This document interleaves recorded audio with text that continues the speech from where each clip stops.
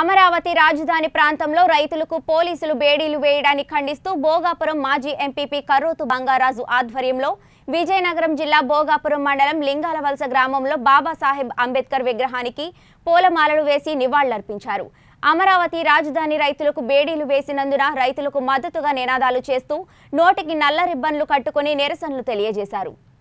ఈ కార్యక్రమంలో మాజీ ఎంపీపీ కర్రోతు బంగారాజు మండల పార్టీ అధ్యక్షులు శ్రీ కర్రోతు సత్యనారాయణ మాజీ మండల జడ్పీటీసీ పడాల శ్రీనివాసరావు లింగాల వలస గ్రామ మాజీ సర్పంచ్ బొగత అప్పలనాయుడు గ్రామ టీడీపీ పార్టీ అధ్యక్షులు కనకాల పైడినాయుడు ఎస్సీ సెల్ అధ్యక్షులు ఓదూరి నరసింహులు తదితరులు ఈ నిరసన కార్యక్రమంలో పాల్గొని నిరసన వ్యక్తం చేశారు.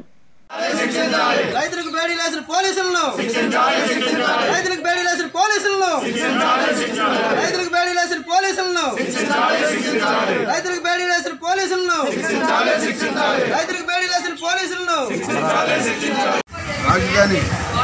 రైతులపై ఏడీలు వేసి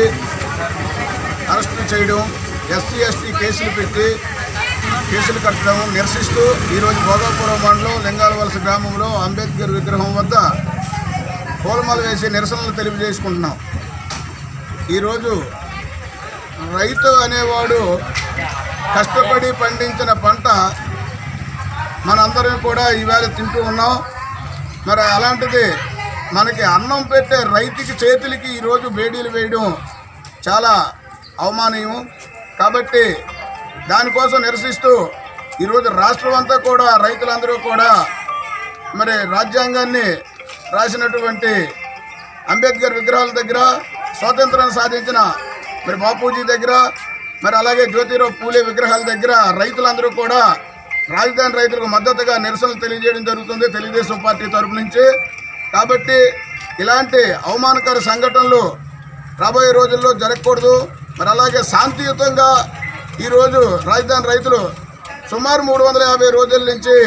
ముప్పై మూడు వేల ఎకరాల భూములు ఇచ్చి రాజధానిని అద్భుతంగా కడతామని చెప్పి ఆ రోజు పరిపాలిస్తున్నటువంటి చంద్రబాబు నాయుడు గారు మరి శంకుస్థాపన చేసినటువంటి మోదీ గారు వీళ్ళందరూ కూడా చెప్పడంతో ముప్పై మూడు వేల ఎకరాలు మన రాజధాని కోసం రైతులు ఇచ్చి ఈరోజు నిరసనలు తెలియజేస్తూ రోడ్డుపైకి వచ్చే మహిళలు అందరూ ఎంతో ఇబ్బంది పడినా సరే కనికరం కూడా లేనటువంటి ఈ రాష్ట్ర ప్రభుత్వం వాళ్ళు కోరికలు తీర్చకపోగా వాళ్ళ చేతులకు బేడీలేసి ఈరోజు ఎస్సీ ఎస్టీ కేసులు పెట్టడం చాలా దారుణం అని చెప్పి ఈరోజు రాష్ట్ర ప్రజలే కాకుండా దేశ ప్రజలు కూడా అందరూ కూడా భావిస్తున్నారు. ఎక్కడైతే అన్నదాత కన్నీటి బొట్టు నేల మీద పడుతుందో ఆ నేల నాశనం అయిపోతుంది కాబట్టి ఇప్పటికైనా కళ్ళు తెరిచి ప్రభుత్వం వారు వారి కోరిక మేరకు వారికి రైతులందరికీ కూడా న్యాయం జరిగేటట్టు రాజధానిని అక్కడే ఉంచి